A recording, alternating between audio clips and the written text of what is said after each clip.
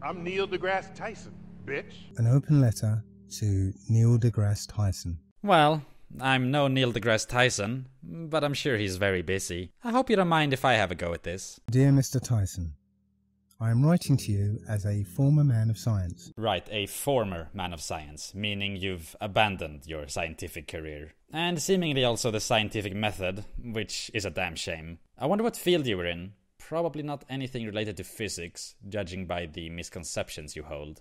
But we'll get to that. That once looked up to you as an inspiring figure. You could say oh, I was a fan. I watched all your lectures and television appearances, and I was struck by your ability to explain complex topics in cosmology and astrophysics in simple, concrete terms. Yeah, I agree with that. Mr. Tyson is a very charismatic and eloquent speaker. But we're not here to kiss his ass, so let's move on. Before we do, though, I should point out, if it isn't obvious, that I've edited the original clip that I'm responding to. I've mostly cut it for speed, trying to keep the original context, but if you feel like I've misrepresented anything, I invite you to look at the original video. It will be linked in the description.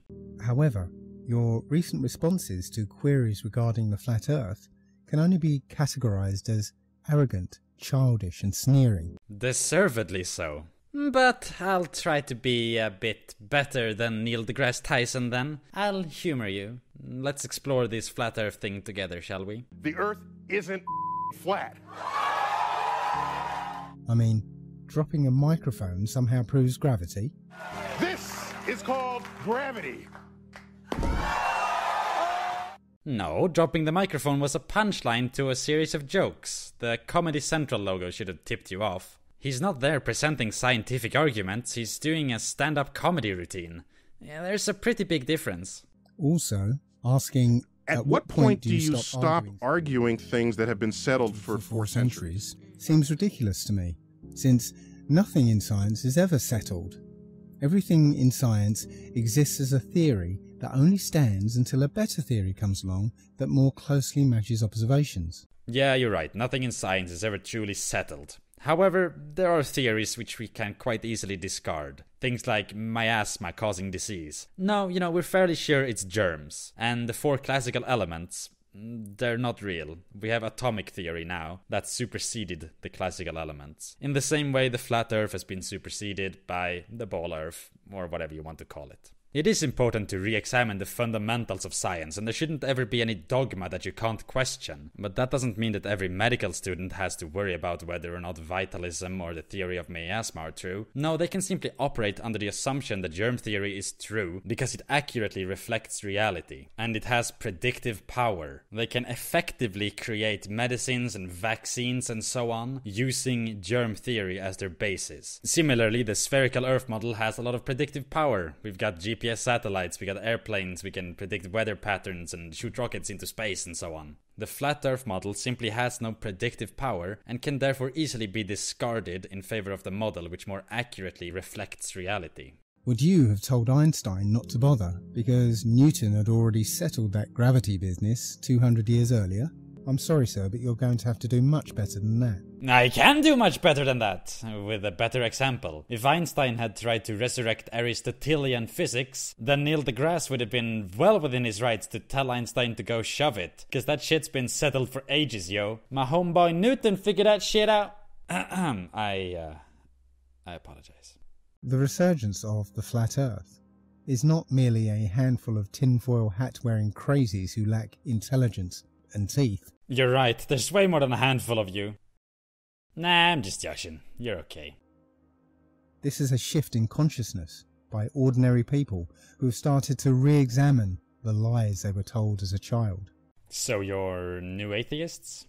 Ooh, damn, I might have alienated some of the audience with that, but hmm, still good. I'll keep it. Your job, sir, is to respectfully answer legitimate questions whether or not the answer supports the scientific model that you are a proponent of. No, it's not. Neil deGrasse Tyson is an entertainer. He's a science communicator, perhaps at best. He's not a research scientist.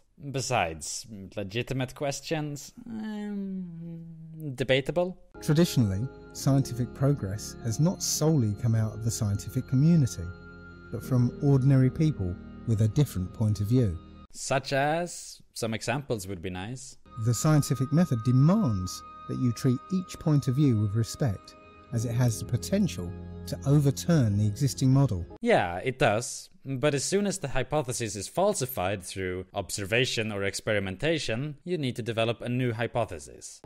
And if science refuses to even entertain alternative views, then it is no longer science, but a religion of scientism. Well, no, what you're describing would not be a religion. A group of people sharing the same unshakable beliefs or dogma doesn't create a religion. At minimum, a religion would also require behaviors and practices associated with that belief. And scientism is not a religion of science. It's more or less the belief that the scientific method is the best way of gaining knowledge, perhaps even to the point where you believe it is the only way to gain knowledge. It has pretty negative connotations. So, I would like to ask you 12 questions and give you the opportunity to answer them respectfully using simple, easy to understand concrete terms that you are so famous for. Alright, I'll try my best. You've noticed by now that I'm showing quite a lot of Wikipedia. That's simply to establish what I'm talking about, in case you're curious and want to read more about the subject. Obviously, Wikipedia is not an authoritative source, but it's a good place to start. Because I'm just an ordinary bloke, nowhere near as smart as you are.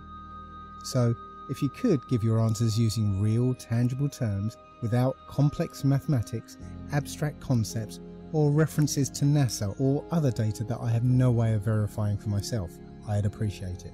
Yeah, of course. I'm pretty much a dummy myself. I won't be using any kind of fancy mathematics or big words or abstract concepts. I'll try to keep things very intuitive.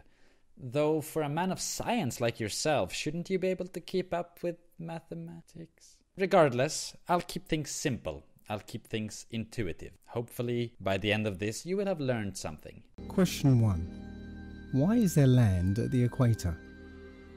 So, you said that the Earth, Earth throughout, throughout, its life, life, even when it formed, it was spinning, and it got a little wider at the equator than it does at the poles. So it's not actually a sphere; it's an it's oblate, and officially, officially it's an oblate, it's an oblate spheroid, and the bulges are at the equator. All right, I'm with you so far. This is all true. So, which is easier to move, rock or water? All right, you're starting to lose me. I'm not sure I follow. Easier to move in what sense? If the gravity is strong enough to prevent the water from being flung off into space. Mm, yeah, it is. It even holds the atmosphere in place, and the atmosphere is a lot less dense than water. Though density is kind of irrelevant in this case, because I'm not really sure what force would propel something off the Earth into space. Do you mean just the rotation itself? Well, yeah, gravity is the thing that's preventing that from happening. Then it's strong enough to hold the much denser rock in place. Mm, yeah, the rock isn't being flung into space either. So only the water should be bulging. Sorry? Wh- what? How does that follow? The gravity is powerful enough to hold the water from being flung off the earth, and powerful enough to hold the rocks from being flung off the earth. Therefore, only the water should be affected by the rotation of the earth? What?